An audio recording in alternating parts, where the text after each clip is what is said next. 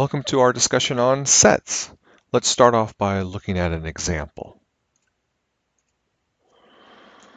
All right, so the first thing you need to understand is just some basic um, syntax and symbols. I'm sure you're all familiar with uh, the squiggly little brackets, meaning uh, sets. You know, something inside these brackets is a set. So here's a set of numbers, one, two, three, and four. But you might not be familiar with this vertical line. That vertical line basically translates as the phrase uh, such that. So this is read the set of all x's, right? Because this first little thing tells us we're going to make a set of what? We're going to set of x's such that, and then it gives a rule, such that x is a natural number less than 5. This is called set builder notation. It's just a way of basically describing a set. And we know that natural numbers less than 5 are 1, 2, 3, and 4. If you didn't know what a natural number is, a natural number are what sometimes are referred to as the counting numbers. They're the, the positive integers. So you don't have fractions, you don't have negatives, you don't have zero, right? So natural numbers are 1 and above integers only. So 1, 2, 3, 4, 5, 6, 7. They're the counting numbers, right? If you were to count, you would use whole numbers.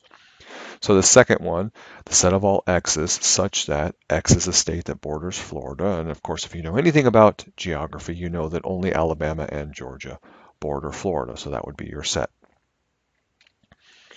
Okay, a subset is just a set of elements that are all within another set. And we use this funky little symbol. It, it kind of looks like the uh, less than or equal to symbol, right? Less than or equal to. And it kind of makes sense because a subset is a set of elements that are going to be less than or equal to the other set, right? So we curve it off, you know, because we're now talking about uh, sets.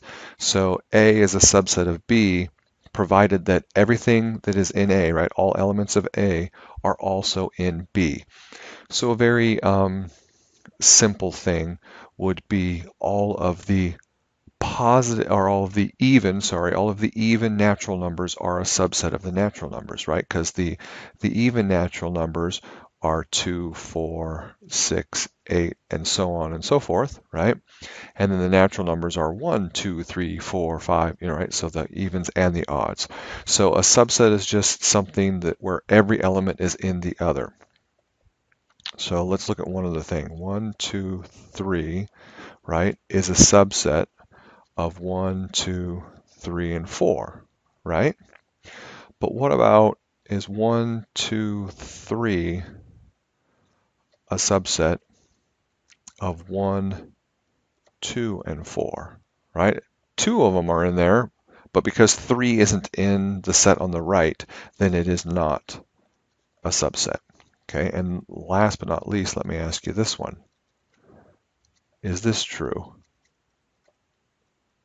Is 1, 2, 3 a subset of 1, 2, 3. By the way, this horrible chicken scratch, this is my way of making those curly brackets. Okay, so is 1, 2, 3 a subset of 1, 2, 3? Well, according to the rule, the, the thing on the left is a subset of the thing on the right if, right, every element in the set on the left is also an element of the set on the right. So if we want to label them, right, so this is, this is set A and this is set B, are all of the elements of A also in B? And you go, yeah, they're exactly the same. So that tells us every set is a subset of itself, which brings us to our first set of rules. Every set A is a subset of itself, and then the empty set is a subset of A. That symbol means empty set. It means the set with uh, no elements. And it makes sense that the um, empty set is a subset of every other set because every element in the empty set is in the other set because the empty set doesn't have any elements, right? So it's kind of one of those silly rules. Next, we know that a set of n distinct elements has 2 to the n subsets. And that just means that if you have a set made up of, let's say, 5 distinct, meaning different elements, then the number of total subsets of that set would be 2 to the fifth. And if you do the math, 2, 4, 8, 16, that'd have 32 subsets. That's a lot of subsets, right? So if we look at, let's look at a much simpler example, something that we can actually do here that wouldn't take us an hour and a half to talk about it. Let's say that A is the set uh, 1, 2, and 3. So we know that it's got three elements, right? And so 2 cubed is 8. it should have eight subsets. Well, we can start very you know, quickly listing them all out. Let's list the subsets of size 1. Well, you have subset 1, 2, and 3. I'm not going to put squirrely brackets around this because it just takes too long. So that's all the subsets of, of size 1. Okay, how about size 2? You can have 1 and 2, 1 and 3, or 2 and 3. What about, um, you know, 2 and 1? Well, isn't 2 and 1 the same thing as 1 and 2? Right, so you can't, you know, order doesn't matter here with, with sets. 1, 2, 3 is the same thing as 3, 2, 1. Okay, so that's all sets of size 2. All right, how about um, sets of size 3? Well, 1, 2, and 3. There's just one of them. So we got 1, 2, 3, 4, 5, 6, 7. Hmm, we need 8. What's the eighth subset that we're not thinking of? Well, remember our rule, the subset is a, or sorry, the empty set is a subset of all sets.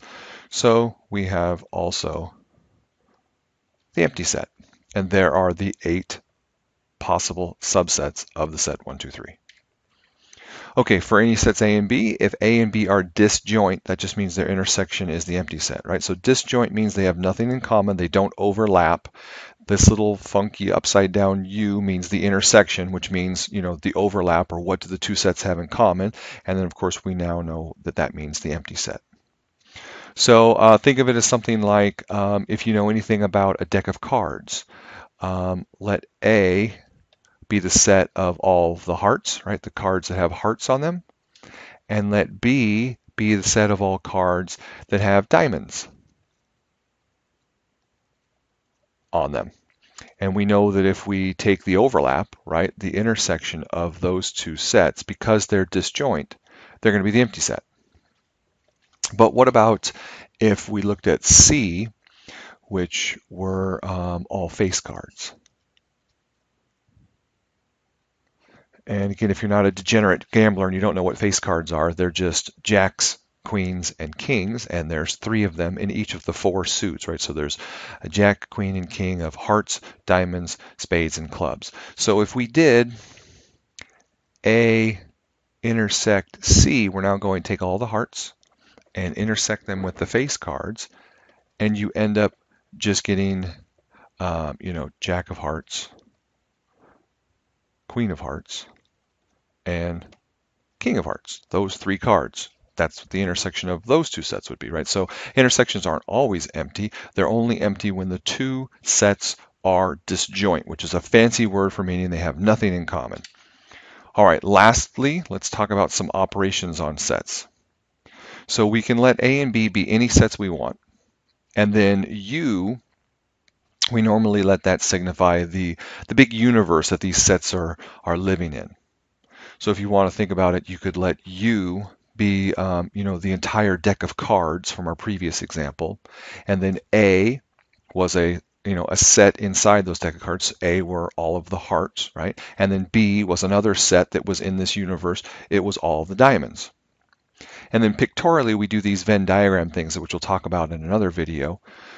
But they look like this, right? And we put a, a big rectangle to be, that's our universe, that's U. And then we put circles in here to represent our sets. So this picture here this circle represents A, and then everything that is not in A that's in our universe, so the whole rest of everything in our universe is A complement. That little dash means the complement of A. And it basically just means all the x's such that x is not an element of A, right? This little symbol here means element, right? So x is an element of our universe, but it's not in A. So again, if A was from our previous example, the set of all hearts, and we were still using the universe of, you know, a regular deck of 52 cards, then the complement of A, this kind of shaded area, would be all the cards that weren't hearts, right? So it would be all the diamonds, clubs, and spades.